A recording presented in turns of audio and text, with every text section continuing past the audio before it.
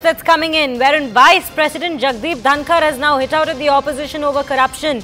Uh, Dhankhar has said, and I quote, that corruption is no longer rewarding. Corruption is not a passage to opportunity, it is a passage to jail. Those who are culpable must take the route to the rule of law. That is the only way. This is the particular remark that's coming from the Vice President of our country. And right now, we have a small excerpt of his from the particular address where he said this. Let's listen in. Corruption is no longer rewarding. Corruption is not a passage to opportunity, employment or a contract.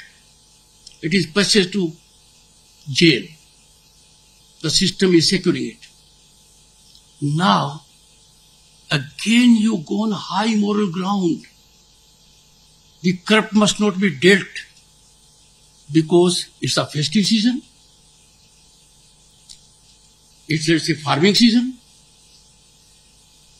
How can there be any season to save those who are culpable?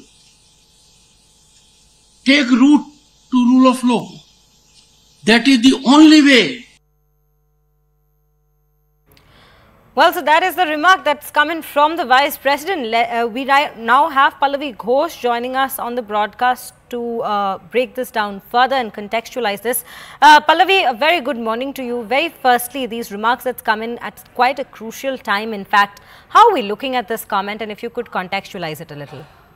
But I'm sure it's going to stoke even more controversy because opposition parties will say that once again, yet another institution speak, seems to be speaking the language of the government. But it's very interesting that in the backdrop of a K. Kavitha and Arvind Kejriwal being arrested, uh, where the whole electoral bond no, uh, issue has snowballed into a huge controversy, and the opposition parties are going to have a big show of strength tomorrow, where they are making the point that there's a very selective punishment which is meted out because ED and CBI are misused by the government.